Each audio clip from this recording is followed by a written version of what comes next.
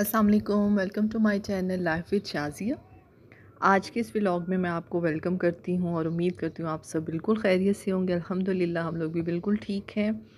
आज की इस वीडियो में मैं आपसे एक बहुत अच्छी कलेक्शन बैग्स की भी शेयर करूँगी। उसके अलावा मैं आपसे कुछ क्रॉकरी कलेक्शन भी शेयर करूँगी। उसके अलावा कैंडल स्टैंड कलेक्शन भी एक मॉल हमने विज़िट किया। वहाँ के मैं आपसे क्लिप्स शेयर करूँगी। और आज एक मैंने कीमा रेसिपी बनाई जो बहुत क्विक बनने वाली है और उसमें एंड में आपने थोड़े से मैंने चेंजिंग किया था और वो रेसिपी भी आप देखिएगा कि वो किस तरीके से बनी थी। बहुत कम स्पाइसेस के साथ जो था बीफ कीमा रेसिपी थी, वो भी मैं आपसे शेयर करूँगी।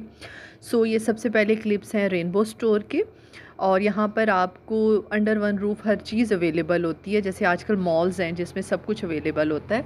सो यहाँ की ये बैग्स कलेक्शन बहुत अच्छी है इनकी।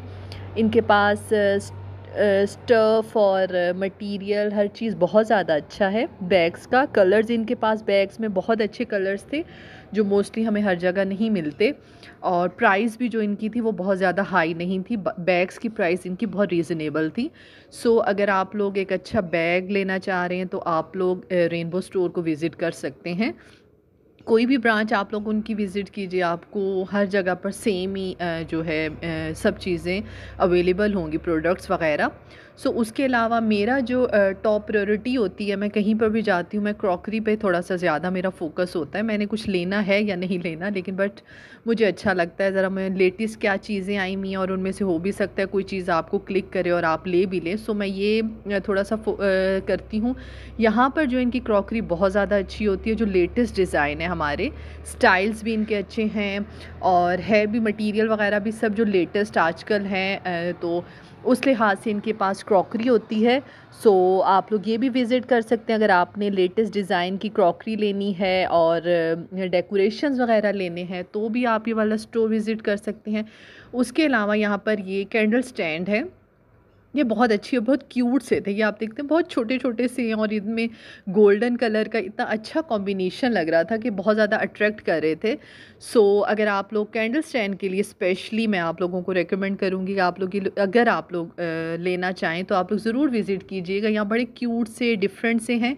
प्राइसेस खैर मैंने लिया नहीं था मैं देख नहीं सकी इनकी प्राइसेस क्या है नहीं तो मैं आपको वो भी थोड़ा सा आइडिया देती।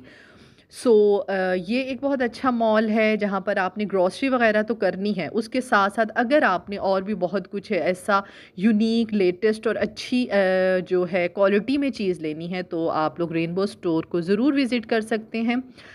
खैर, ये सारी थी आज के क्लिप्स थे जो स्टोर के थे और अब मैं आपसे बीफ कीमा की रेसिपी शेयर करती हूँ। इसमें मैंने आलू या मटर नहीं डाला था एंड में एंड में मैंने थोड़ा सा इसमें चेंज किया था। सो ये रेसिपी आप लोग एंड तक ज़रूर देखिएगा, आपको ज़रूर ये अच्छी लगेगी। बीफ कीमा में मैंने ये हाफ़ के जी कीमा ले लिया था, दो बड़े प्याज, तीन टमाटर वन टेबल स्पून अदरक वन टेबल स्पून लहसुन one teaspoon salt one teaspoon कुट पिसी हुई लाल मिर्च और उसके बाद हाफ़ टी स्पून हल्दी। इन तमाम को थोड़े से पानी के साथ डालना है। इतना पानी होना चाहिए कि जो कीमा है वो प्रॉपर कुक कुक हो जाए अच्छे से। और उसके बाद आप इसको अच्छे से कुक कर लें।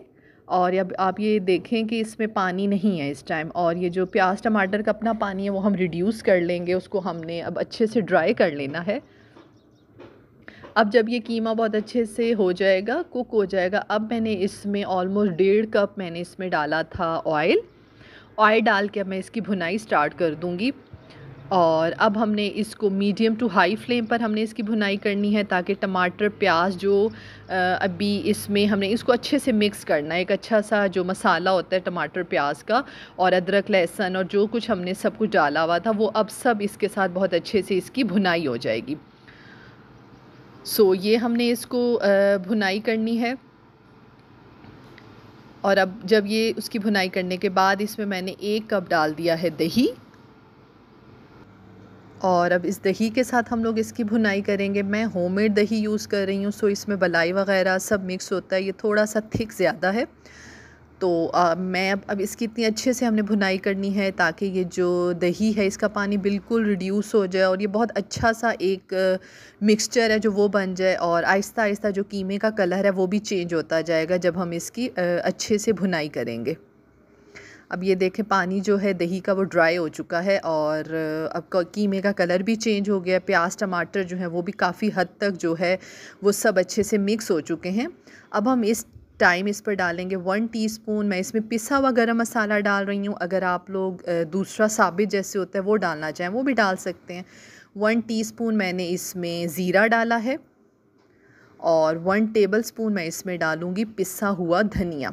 स्पाइसेस मैं ज़रा कम यूज़ करती हूँ। बहुत स्पाइसी खाना नहीं होता हमारा। अगर आप थोड़ा स्पाइसी लेना चाहते हैं तो आप हाफ़ के जी के लिहाज से थोड़ी सी इसमें स्पाइसेस जो हैं, वो बढ़ा दें। थोड़ी सी काली मिर्च भी डाल दें। थोड़ा सा आप इसमें कुटी हुई लाल मिर्च भी ऐड कर सकते हैं। बट आई थिंक जितने मिनिमम स्पाइसेस होते हैं, वो थोड़ा सा अब अच्छा होता है आपके हेल्थ पॉइंट ऑफ़ व्यू से। वरना बहुत ज़्यादा स्पाइसी खैर, हर एक की अपनी चॉइस होती है। आपकी अपनी मर्ज़ी।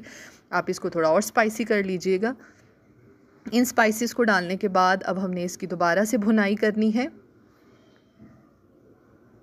और ये आप देख, देखें कि ऑयल जो है वो सेपरेट होना स्टार्ट हो रहा है और भुनाई जो है इनकी अच्छे से हो चुकी है। इस टाइम जब ये प्रॉपर कुक हो जाएगा, भुनाई हो जाएगी, तमाम स्पाइसेस के साथ हमने इसमें तीन से चार हरी मिर्चें डालनी हैं। और ये जो मैंने इसमें एक चेंज लाया था, आज मैं डिफरेंट तरीके से बना रही थी, उसमें मैंने अब ये प्याज जो एक बड़ी प्याज जो है, वो मैंने इसमें डाल दी है एंड में। अब हमने इस प्याज को डाल के कुक बिल्कुल भी नहीं करना, इसको हम इतनी देर बस हमने इसको कवर करना है, दो से तीन मिनट आप समझ लें, ताकि ये जो प्याज हैं, ये बस हल्के से सॉफ्ट हो जाए, जैसे खड़ा खड़ा प्याज होता है, बहुत ज़्यादा नरम भी प्याज ना हो ये। और उतना हमने इसको कवर करना है। और बस ये थोड़ी सी देर इसको मैंने कवर किया था, आप ये देखें, अब ये जो प्याज हैं, ये अभी अपनी असली हालत में है, बहुत ज़्यादा इसको मैंने सॉफ़्ट नहीं किया और अब इस टाइम मैं इसमें डाल दूँगी हरा धनिया कटा हुआ, फ्रेश हरा धनिया हम इसमें ऐड कर देंगे। और इसमें वन टेबल स्पून ये है कसूरी मेथी। मैं खैर एक हाथ में मेरा कैमरा था सो मैं इसको क्रश नहीं कर सकी बट आप लोग क्रश करके डालिएगा, उससे ज़्यादा अच्छा टेस्ट आता है। और चुटकी मैंने इसमें डाली थी, कलौजी। कलौजी जो है, वो सुन्नत नबी भी है अलैहि वसल्लम। सो आप अगर ये भी अपने खाने में ऐड करेंगे तो इससे आपको बहुत से बेनिफिट्स मिलेंगे और टेस्ट भी अच्छा हो जाता है। ये डालने के बाद फिर मैंने बस इसको बहुत हल्का सा एक से दो मिनट समझ लें आप इसको सिर्फ़ कवर किया होगा ताकि ये तमाम जो मेथी है और कलौजी है उसका भी टेस्ट कीमे में आ जाए। और अब ये इसकी जो है वो फ़ाइनल लुक है।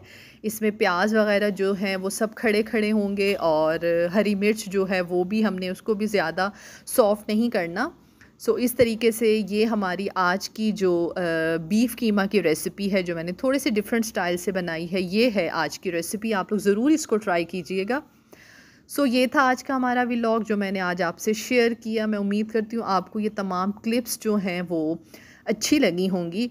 और आप लोग ज़रूर विज़िट कीजिएगा मॉल भी विज़िट कीजिएगा उसके अलावा बीफ़ कीमा रेसिपी भी ज़रूर ट्राई कीजिएगा।